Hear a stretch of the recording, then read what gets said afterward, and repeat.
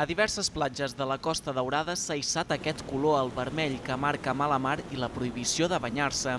A simple vista no pot semblar que hi hagi perill per la tranquil·litat de l'aigua, però la realitat és una altra. Avui el que tenim és mar de fons, és un mar que serà complicat, eh, arriba a puntejar previsió de puntes de, de força 7, que és, és, és molt elevat, i el que condiciona doncs, és eh, la nostra feina canviar una mica la dinàmica de treball d'un dia, per exemple, de bandera verda.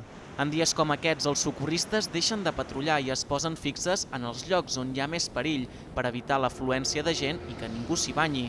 Aquest estiu està sent més complicat perquè respecte a l'any passat estan havent-hi més dies de banderes vermelles. L'any passat vam tindre uns dies molt tranquils, de mar molt, molt, molt tranquil·la, i aquest any no, aquest any fa poc està en bandera vermella, avui tornem a estar en bandera vermella, estem tenint molts, molts dies de la mar no moguda, molt moguda.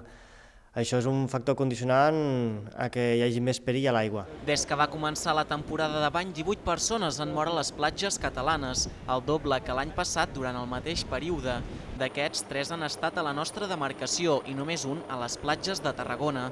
La gran majoria d'aquests ofegaments han passat en platges que no tenien vigilància. Si una platja no està vigilada, ostres, la gent que tingui moltíssima precaució, que no hi haurà ningú allí per anar-los a buscar i si van a una platja on el socorrista està donant les indicacions, que respectin moltíssimes aquestes indicacions. Zones de, de prohibit accés, que no intentin accedir, precisament estan prohibit per alguna cosa.